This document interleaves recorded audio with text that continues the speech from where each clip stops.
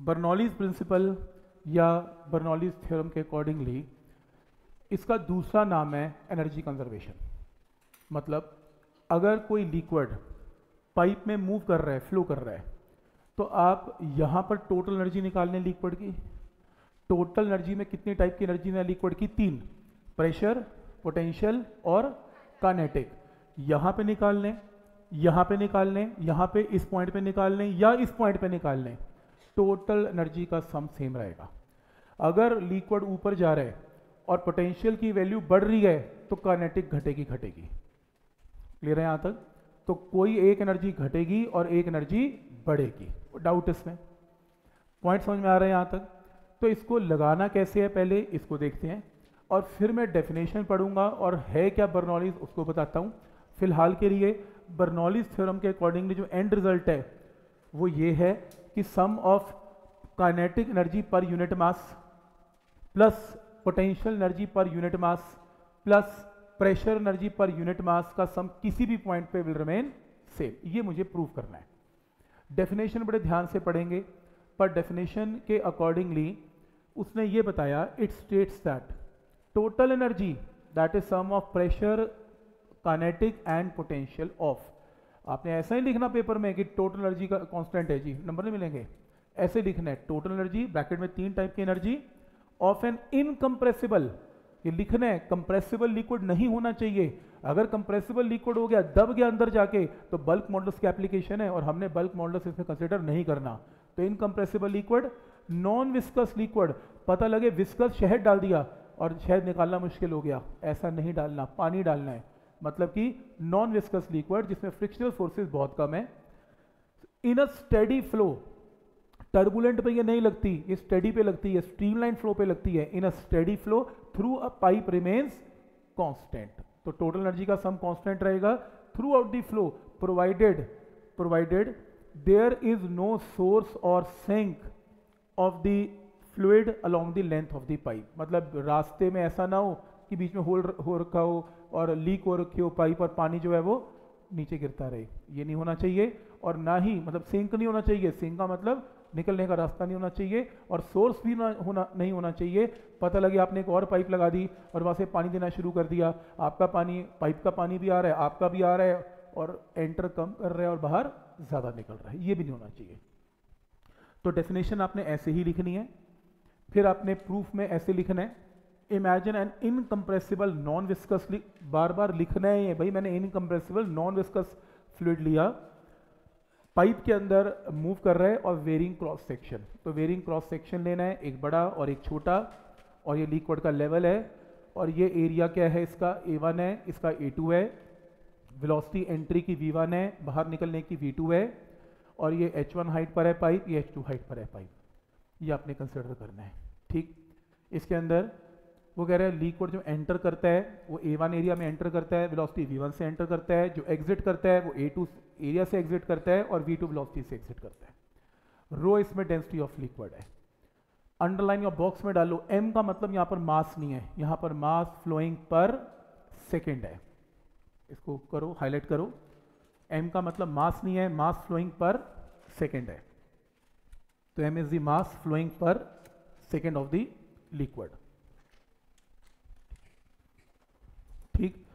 M is mass flowing per second according to equation of quantity A one V one is equal to A two V two volume entering and volume coming out per second will remain same A one V one is equal to A two V two rho से multiply कर दिया तो ये क्या आ गया? Mass flowing per second mass flowing per second और इसका सिंबल क्या है? एम तो यहाँ पर एम का मतलब मास नहीं है मास पर सेकेंड है।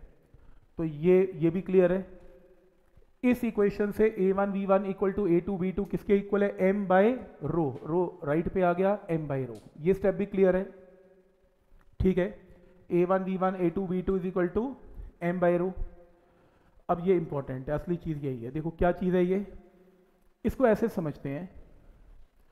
Net work done on the fluid by pressure energy per second देखो, एक लॉजिक समझो। पानी ऊपर चढ़ रहा है। पानी कभी ऊपर अपने आप नहीं चढ़ सकता। तुमने नीचे से क्या लगाया?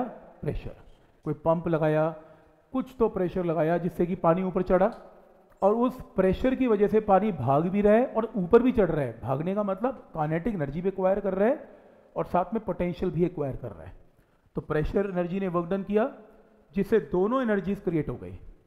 तो प्रेशर एनर्जी ने कितना वर्क डन किया, इसको समझ लेते हैं। जरा एक चीज़ याद करें वर्क पा एनर्जी में किया था हमने।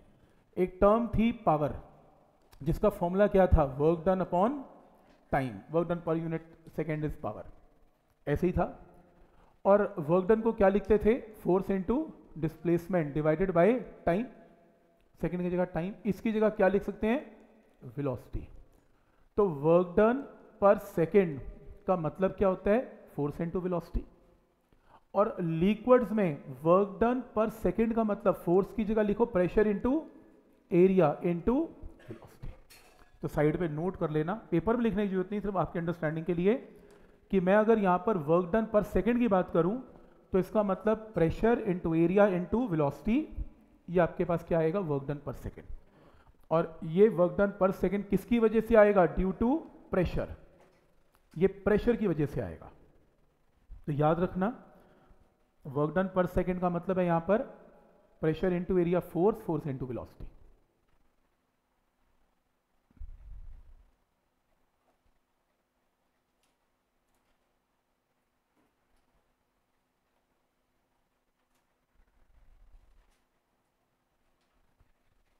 तो शुरू करते हैं।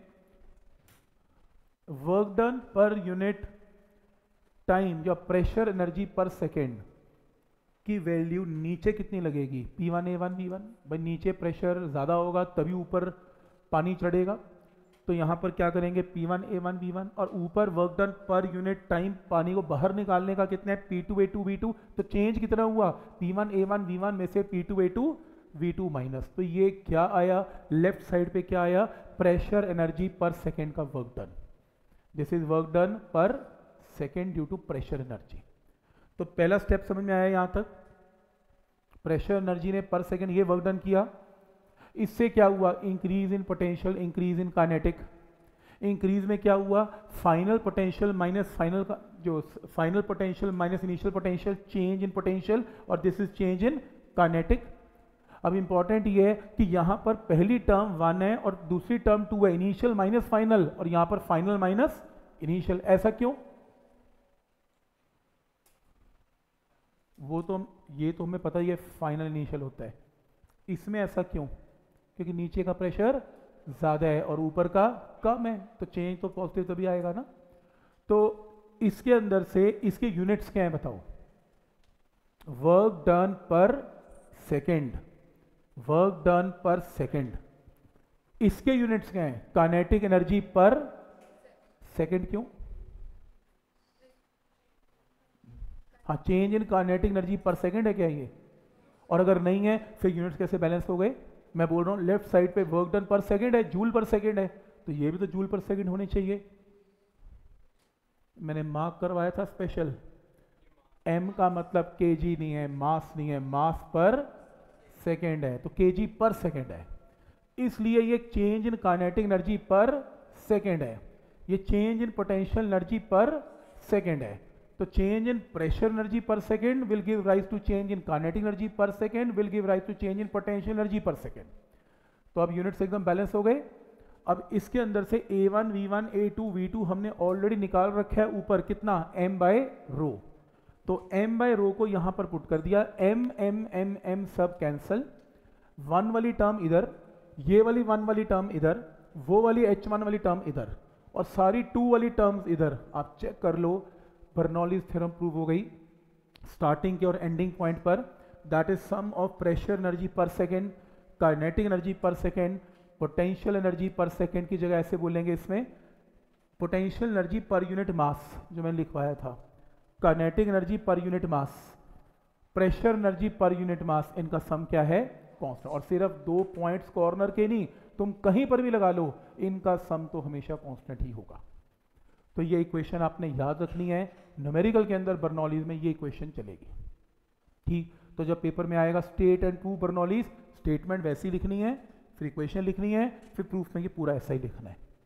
फिर कभी कभी कई लोग बर्नौलीज ऐसे लगाते नहीं है न्यूमेरिकल्स में, कई लोग ऐसे लगाते हैं इसमें रो से मल्टीप्लाई कर दो दोनों साइड्स को। तो रो इधर चला गया, रो इधर चला गया, ये रहा। और उसी तरीके से ऐसे भी लगाते हैं कि तुम इस पूरी टर्म को रो इंटू जी से या इस पूरी टर्म को जी से डिवाइड कर दो तो P by rho into G V square by two G और ये एच तुम्हारी मर्ज़ी है ऐसे ऐसे या ऐसे, मैं ऐसे लगाता हूँ। तो फिर आप कहोगे, फिर आपने ये क्यों करवाई? एक अगर आपकी बुक ऐसे लगाई, आपको पता होना चाहिए। और दूसरी, ये जो पहली टर्म है पी बाय रो जी इसे अंडरलाइन कर लो, इसे प्रेशर हेड बोलते हैं।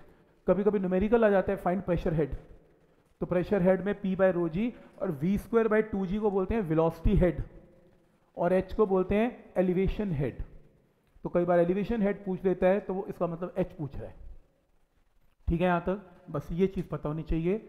और ये पेपर में नहीं आती लिमिटेशंस बस आपकी नॉलेज के लिए, जब बर्नौलीज को प्रूव किया गया कुछ बातों को निगलेक्ट किया गया।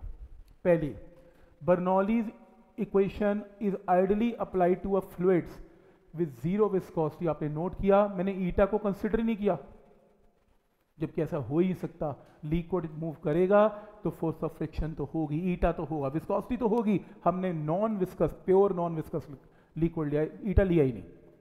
Number two Bernoulli's equation has been derived on the assumption that there is no loss of energy due to friction हमने बिल्कुल भी फ्रिक्शन की फोर्सेज ना सरफेस की फ्रिक्शन ना अंदर की फ्रिक्शन को कंसिडर किया, जबकि पाइप की भी फ्रिक्शन होती है।